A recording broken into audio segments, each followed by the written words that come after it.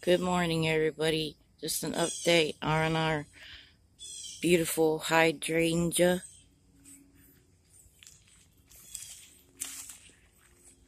And my, our morning glories are blooming everywhere.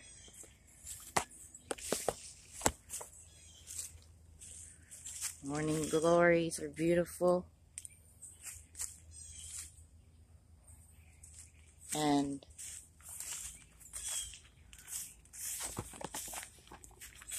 also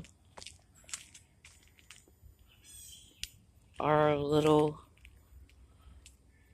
hydrangeas out here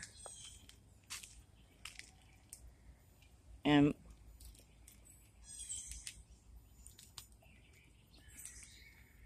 I think these might be bluebells.